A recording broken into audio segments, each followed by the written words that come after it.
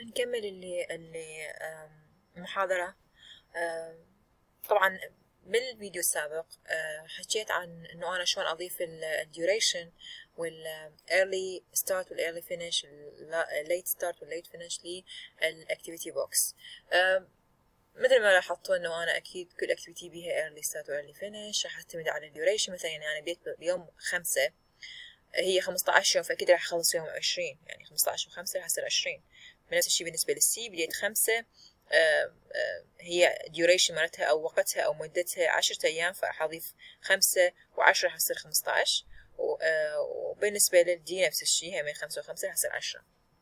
فأني عندي ثلاث activities تبدي بالتزامن أو أو بالتوازي سوا. بس تخلص كلها كل واحدة يعني بوقت مختلف. راح تبدي تخلص الأولى بيوم عشرين تخلص الثانية بيوم 15 والثالثة بيوم عشرة.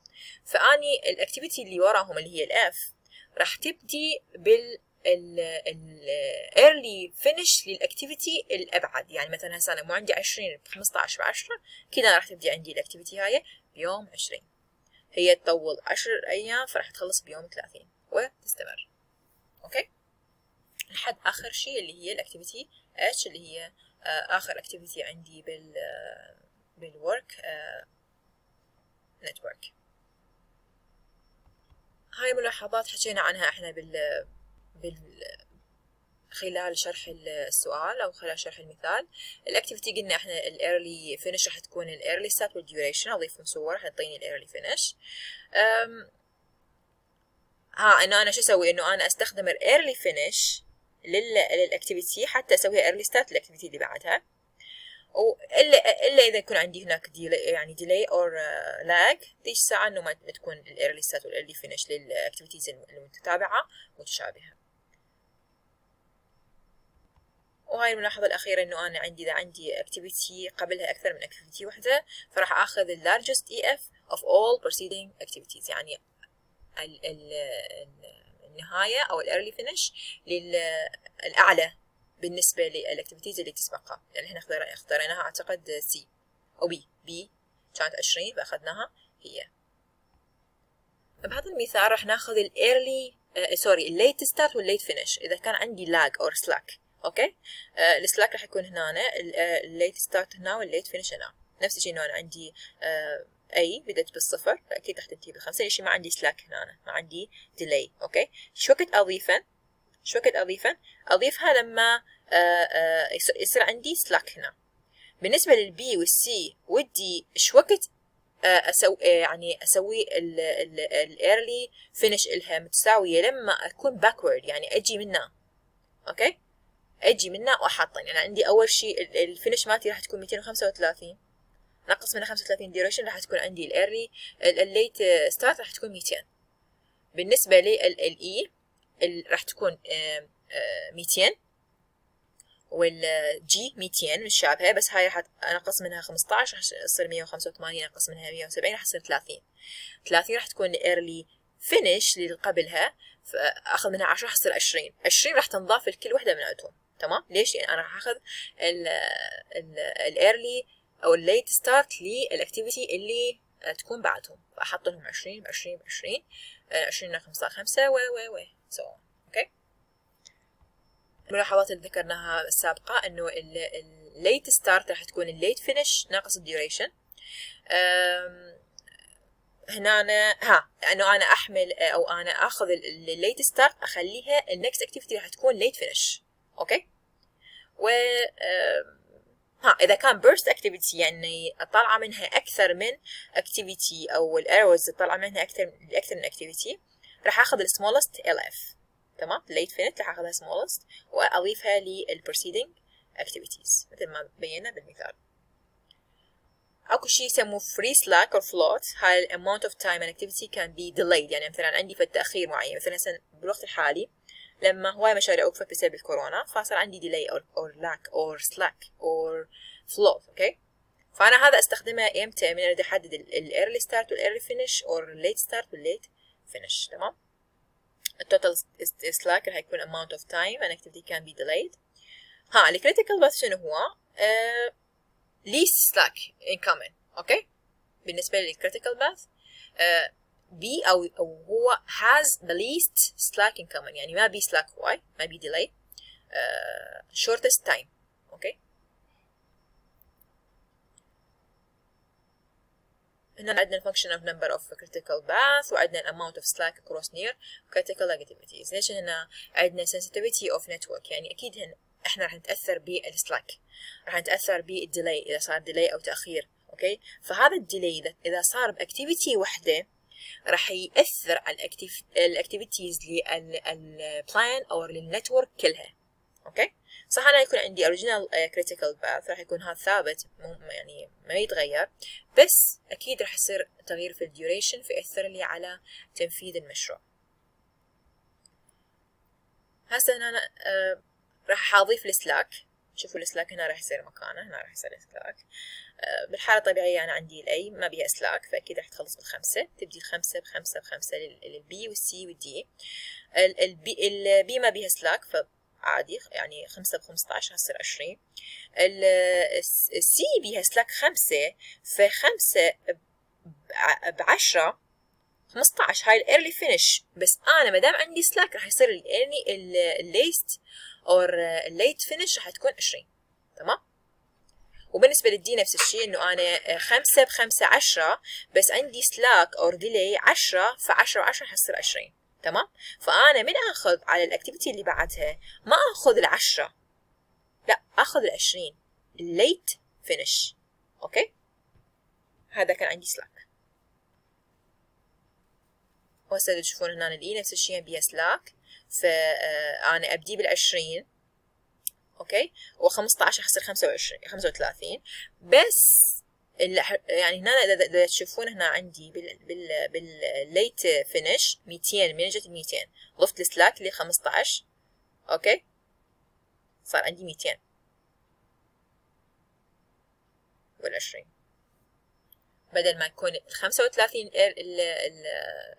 ال early ال finish مالتي راح يصير 200 أضيف 35 ال 165 راح يصير عندي 200 فهي هيك السالفه إنه أنا أضيف ال slack لل duration لازم يعني أخذ practical consideration أهتم بشنو؟ logical errors دخل عندي errors داخل ال network. numbering أكيد أهتم لترقيم ال activities. أستخدم computers to develop networks. أكيد أستخدم الكمبيوتر حتى إنه أنا أسوي ال networks ها أستخدم ال calendar dates فالتقويم معين عندي بتواريخ صحيحة أستخدمها حتى إنه أنا أحط duration صحيحة أو end time و start time لل activity يكون صحيح. خصوصا إذا كان عندي multiple starts multiple projects يعني أكثر من project بينفذ بنفس الوقت. هذا ال logical loop إنه أنا عندي A و B. آه بس أحتاج أوقات إنه أنا آه لما أنفذ B أرجع لل C وبعدين أرجع لل A okay؟ يسمونه logical loop okay؟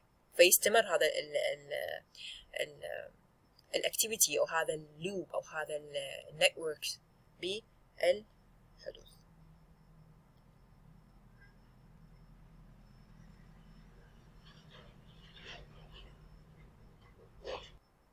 هنا عندي مثال air control project. تشوفون هنا عندي ال start وعندي ال finish لاحظوا التواريخ اللي هنا موجودة. ال duration إيش قد؟ 15 يوم راح يكون يعني أضيفها على ال start و أسوي ال finish. بس اذا تشوفون هنا كل activity موجودة إلها ID خاص بها. هنا عندي 1 2 3 4 5 6 and 7 and 8 the last one. okay okay? فأنا يعني حسب ال proceedings يعني مثلا عندي هاي ال activity تسبقها تسبقها ال activity 4 آه فأخليها هنا. تمام؟ هي تسبق. ال activity 7 تمام. 7 تسبقها ال 6 وال 2 تمام فاضيف الشغلات إذا كان عندي slack أو delay اضيفها من واخذها بنظر الاعتبار. ها هذا هنا آه Microsoft Project أكو برنامج اسمه Microsoft Project إذا أقدر أنطيكم فد مثال عليه أو خليه اوضح لكم إياه إذا صار عندنا وقت بالنهاية. هنا أكو techniques أكو laddering يعني يصير شلون السلم. activities are broken into segments إنه أنا أقسم ال activities إلى segments أو أجزاء ويصير على شكل ال ladder okay؟ ما يصير بيها تأخير. okay؟ هنا عندنا lags إنه أنا أكو في تاخير معين يصير حتى إنه أنا أكو فد activity معتمدة على ال activity اللي قبلها فأنا أضطر اخر ال activity حتى أبدي ال activity اللي بعدها تمام؟ فلازم أسوي التقسيم أو broken down لل lengthy activities ال activities الطويلة. حتى إنه أنا أضمن إنه التسلسل يكون صحيح آه، وكل شيء يمشي بصورة صحيحة. okay؟ إذا تشوفون هنا نفس الشيء. هنا نفس الشيء عندنا lag خمسة أيام فأنا أضطر أجل ال activity Q حتى أه لحد ما تتخلص ال activity P. مع إنه تشوفون إنه أنا مو هي معتمدة عليها آه، بال finish إنه أنا مو أخلص P يلا أبدي Q لا. أبدي P لنفرض أنا أقول إن بعد ما أبدي أكتيفيتي بي بخمسة أيام أبدي أكتيفيتي كيو. تمام؟ هنا اللادرينج لايكس إنه أستخدم اللايكس أول شيء أتأخر ثلاث أيام وأبدي الاكتيفيتي الثانية وبعدين أخلص أو أتأخر ثلاث أيام حتى أبدي الريفل لل 1 مايل أوكي؟ هاي نفس الشيء همين لازم تطلعون عليها الأمثلة. ها اللي هنا مثلا عندي prototype إذا أسوي prototype لازم أسوي له testing okay؟ فيعني إنه أنا أستمر إنه أسوي prototype وأسوي testing لحد ما أنجح بالنهاية إنه أنا أسوي prototype اللي مناسب لي. فال activity من أخلص راح تكون يمتى شوي ال testing راح يكون إنه تخلصها وابدي بال testing تمام؟ نفس الشيء بالنسبة هنا أنا أستخدم ال delay وال lags شوفوا دخلت بال lag هنا ثلاث أيام حتى أبدي بهاي ال activity نفس الشيء بالنسبة للبقية.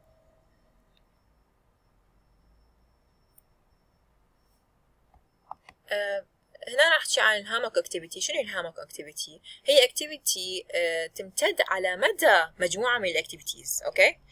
ال duration مالتها أو مدتها تحسب بعد ما أكمل ال network plan okay؟ هسه إذا نشوف المثال إلها هنا. تشوفون هنا هاي ال activity تمتد على طول. ثلاث activities هنا ال B وال D وال F okay؟ لما أبدي بيها هنا أنا أسوي lag معين وأبدي بهاي ال activity اللي هي ال hammock activity وتنتهي بآخر وحدة. شنو ال terms اللي استخدمناها بهاي المحاضرة؟ استخدم activities uh, activity on arrow activity on node burst شنو هي؟ critical path وغيرها المفروض تطلعون عليها أهمية وهاي هنا أمثلة. أنا طبعا راح أحكيكم شوية عن ال project Microsoft Project حتى شوية تعرفون شلون تستخدموا هذا البرنامج لأن كلش مهم في ال project management آه طبعا آه هو أكو يعني نوعين من ال methods اللي نستخدمها حتى نسوي ال project plan وال project network بس إحنا راح نستخدم هاي ال semester إن شاء الله ال activity on node أكو السنوات البقية بها ال activity on arrow ممكن تطلعون عليها وتشوفون شنو الفرق بين ال activity on node ال AON وال AOA آه، وهنا همين اكو فد مقارنة أو فد فد اختلافات بسيطة بين النوعين المفروض تطلعون عليها.